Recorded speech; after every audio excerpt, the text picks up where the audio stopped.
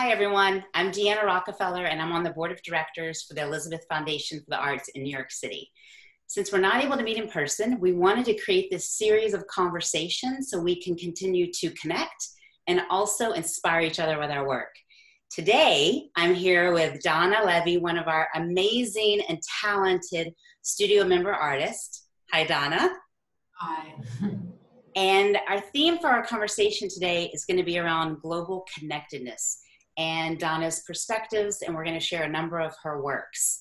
So I know that we have not had a chance to meet in person, but we've both walked the, the halls of EFA. And I would love to start just by hearing a little bit about your studio and your experiences there. Um, yeah, I love my studio at EFA. I've been there since 2016.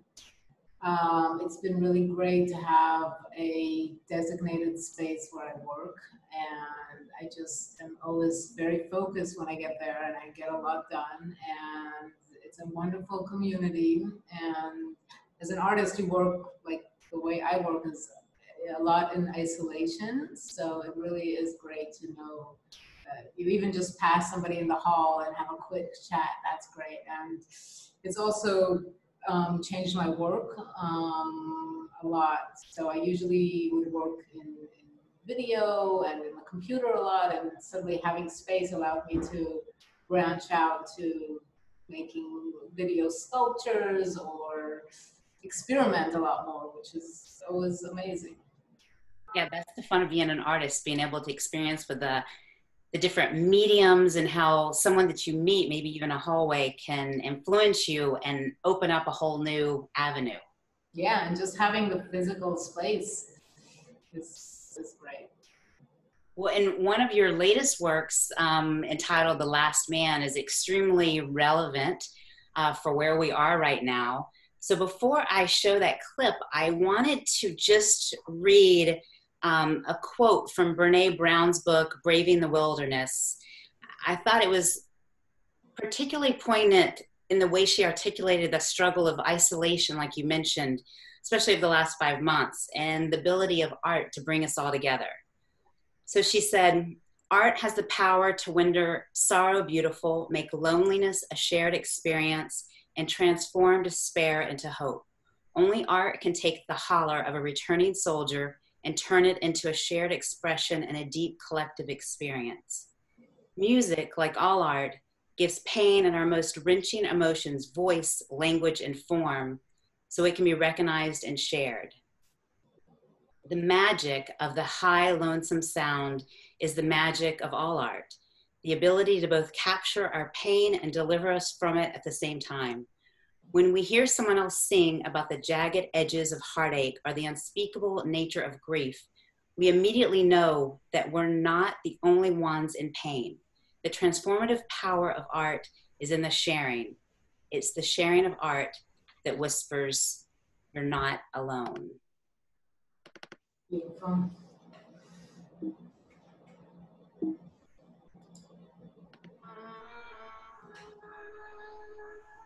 More people died there, more people might have lived.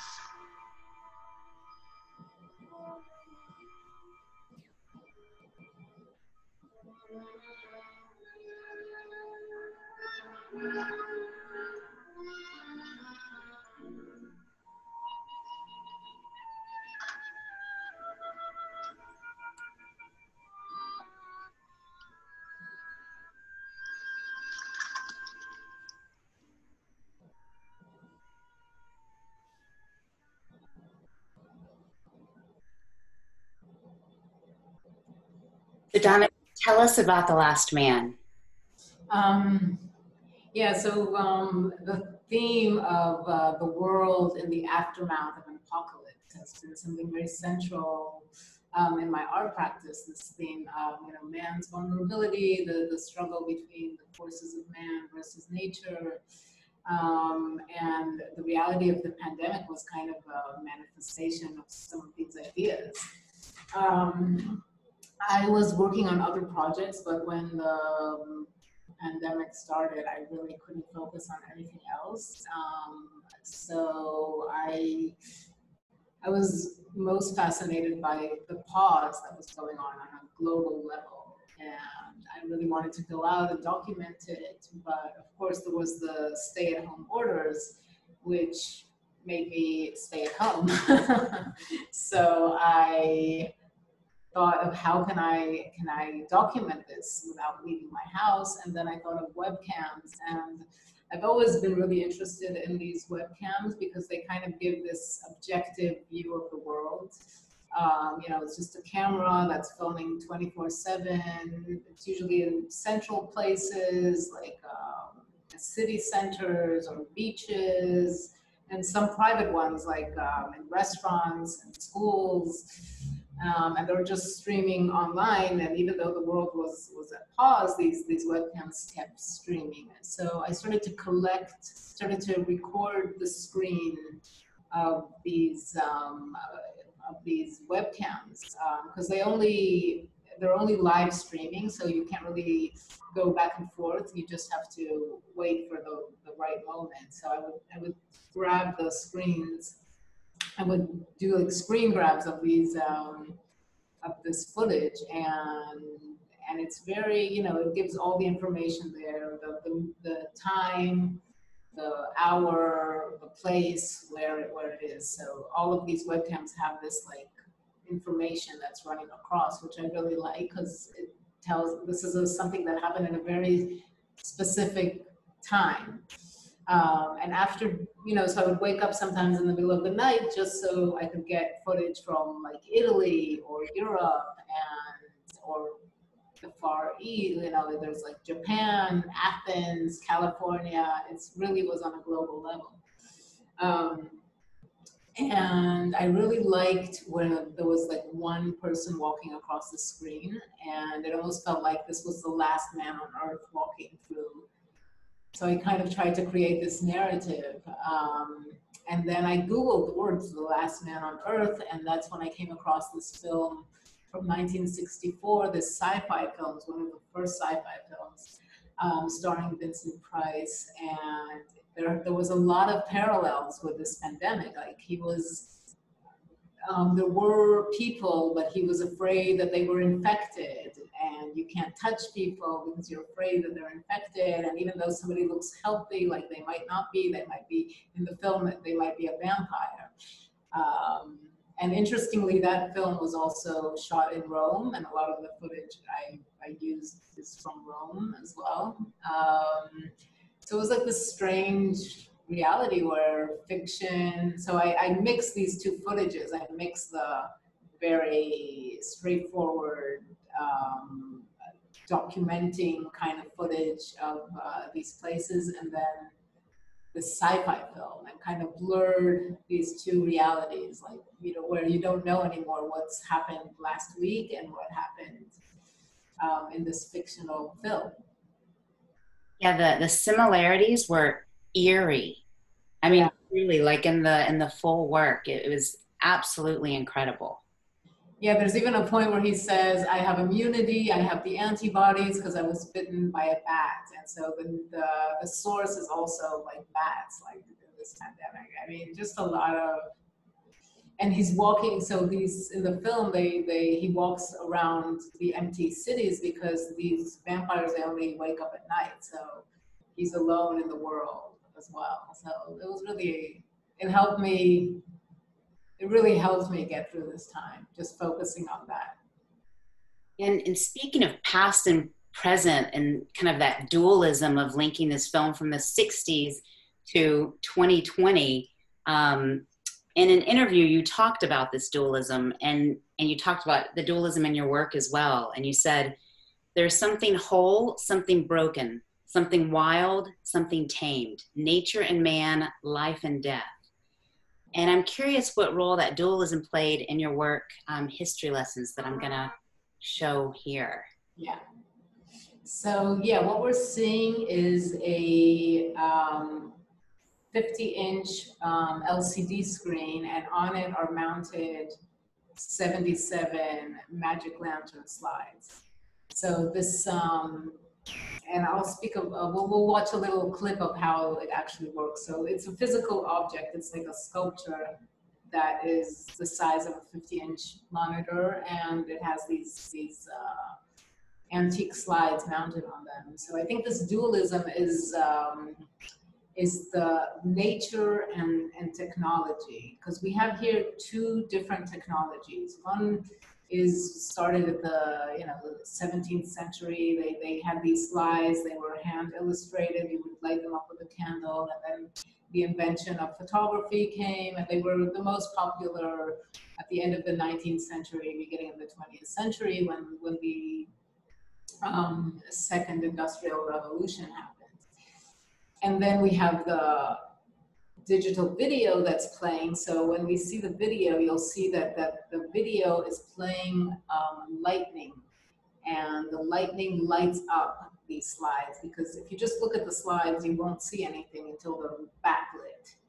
Um, so I was really interested in, in the materiality, how we went from one format, one technology to another form, another technology. And in this, in this century between these two technologies. Like what had to happen in the world for us to go from one technology to another? Like a lot, like culturally, landscapes, environmentally, like how these two, um, how these two technologies, the bridge between them, um, what this transformation that happened, how that transformed the world actually, because you see in the images. Um, yeah, can you play the video maybe?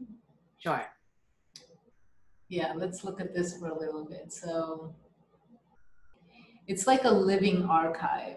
So sometimes the lightning lights it all up, and sometimes it lights up um, parts of it. Like sometimes it lights up only women, or only trees, or only animals. So it's like this living archive that is being lit up by the lightning um, that's being played in the background.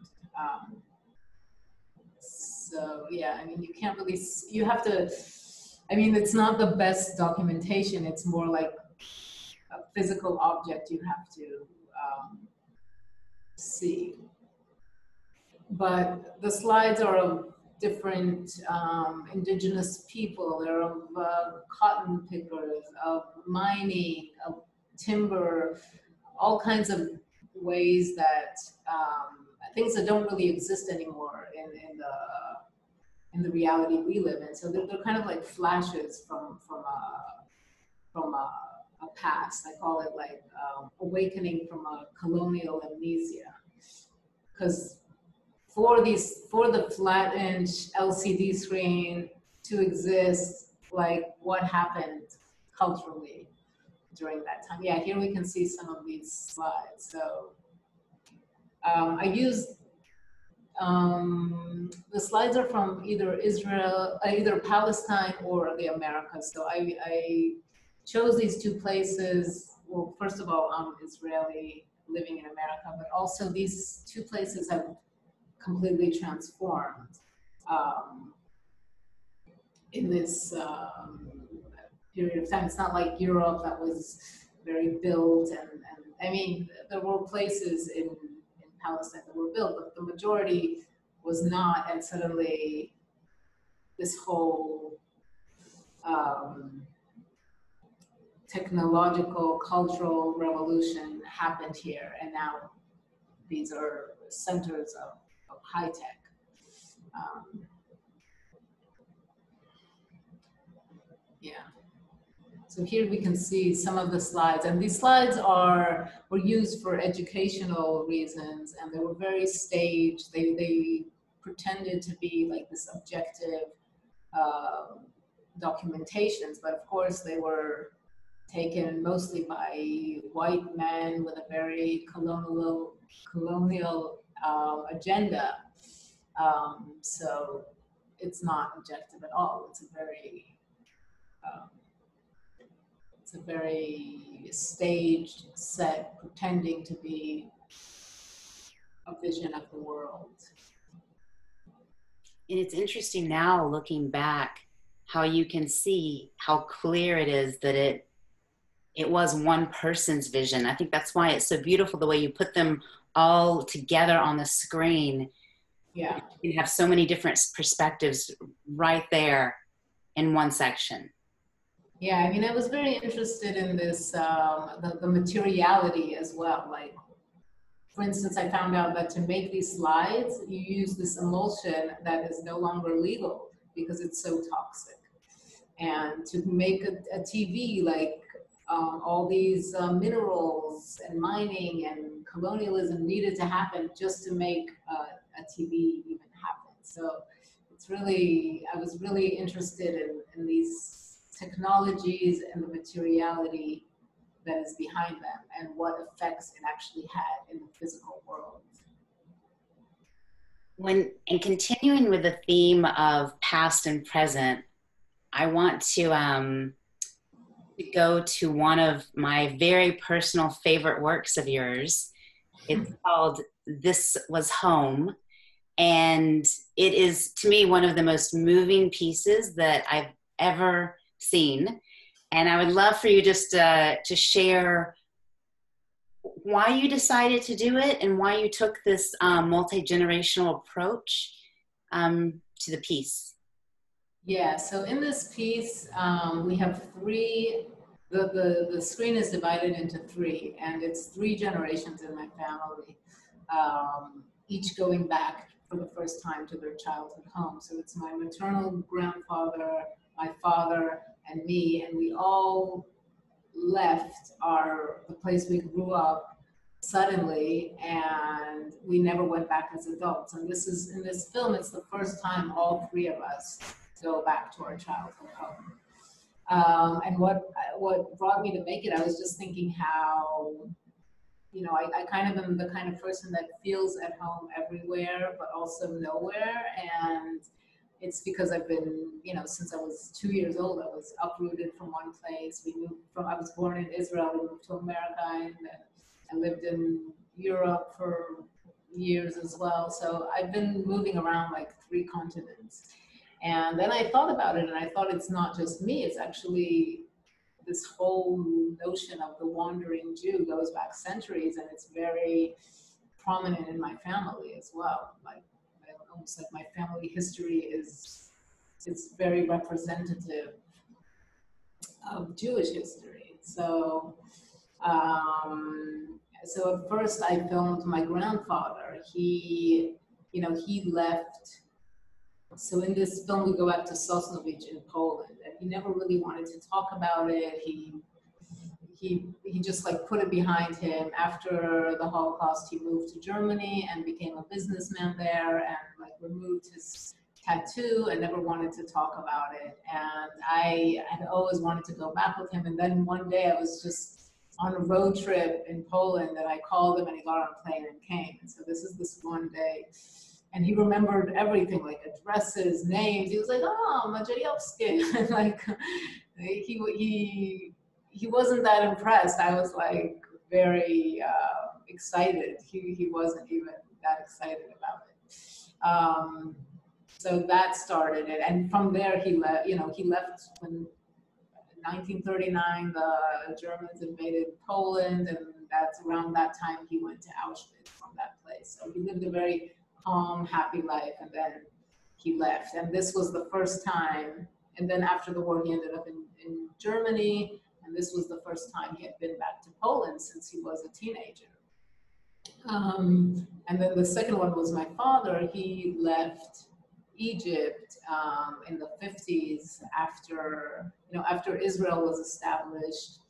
Um, it became increasingly hostile for Jews to be in Egypt. Um, after like, I don't know, my hundred, my family goes back like 800 years at least, like the family tree in Egypt. So we were there for a while.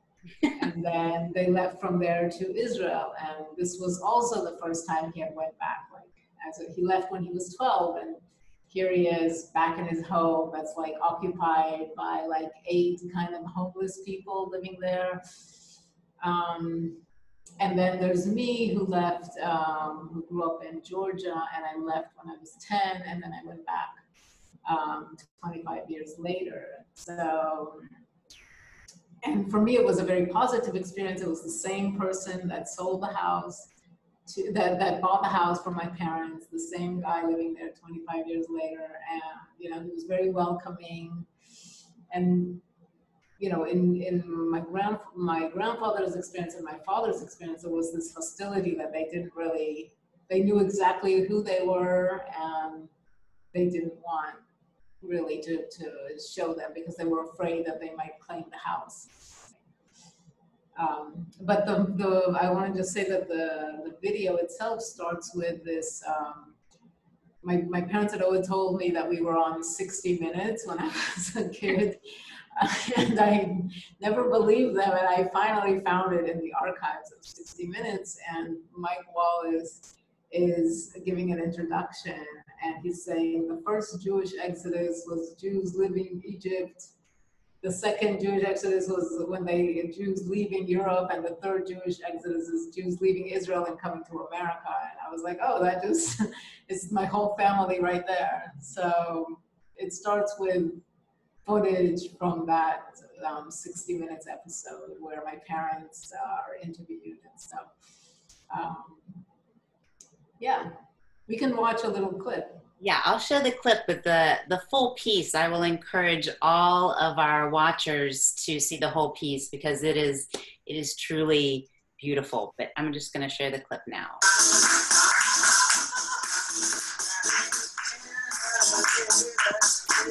really seeing the left side is my grandfather, the middle is my father, and on the right is footage from Atlanta, Georgia. So in this work, there's constantly these three screens. Um, and you always hear sound from only one of the screens, but you constantly see, and there's a lot of parallels, like sometimes here we see three people dancing in three different cultures which I filmed in those three places. And then here there's um, three synagogues. So on the left, there's no remaining synagogues actually in Sosnowiec. So this is old photographs. Here my father in the middle is in Egypt, in Cairo, in the in the synagogue where his brother got married.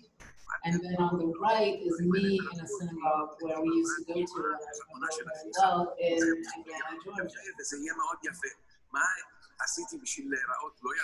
My father is here, he's recalling his time.